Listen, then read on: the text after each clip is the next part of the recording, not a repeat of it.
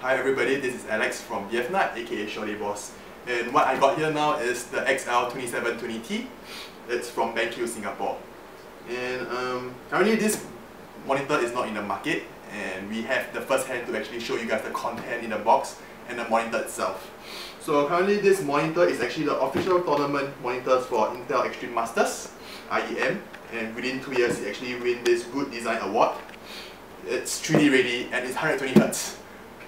So I'm going to now open the box and actually show you guys the content in it and the monitor by itself. Okay, I'm going to open up the box now. Oh, it's quite easy to open up. Okay, so what do we have here? Oh, tons of stuff. Okay, we have this driver CD for this monitor by itself, dust cover, and tons of cables. Oh yeah, remember to use this DVI cable, the white one, because if you don't use it, you won't be able to achieve 120 Hz and 3D capability. And um, just cables by itself, blah blah blah. Oh, yeah, and remember, do not use this cable for your monitor because if you do, you won't be able to achieve 120 Hz and in the first place I don't think you will even want to buy this monitor. And this is the profile selector for your monitor. And the base of it, oh I like this base. It's it's very solid. Yeah, and it's kind of heavy also. Okay. And oh this is the stand of the monitor. Here, look at this. You can actually turn, you can adjust the height itself. And this is the hook. The hook, the one that you hook up your headphones. Okay, And the most important thing to show you guys. The monitor by itself. Okay, uh, yeah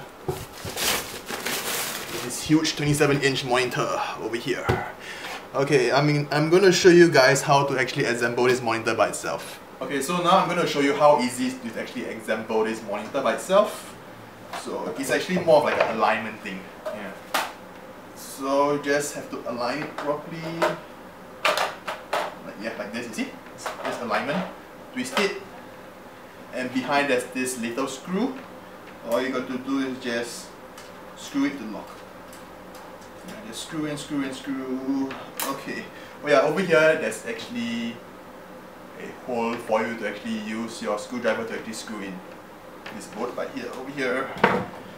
And like I said, this monitor is more of like a hook. Just fix it in, align it properly and just pop it in myself. Very simple. So just have to align it and just push it lightly. Snip. And you know this monitor is hooked onto this stand. Alright. And this is a profile selector which I talked about earlier on. All you gotta do is just, is, oh, because it's made of magnet, so you actually just stick onto the side of this monitor base itself and just stick it to the back of this I.O. Yeah. And this monitor by itself is actually able to rotate to a portrait mode.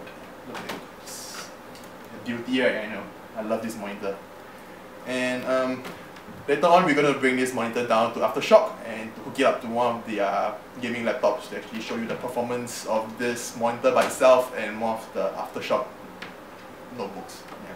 So stay tuned for the next episode. Bye guys.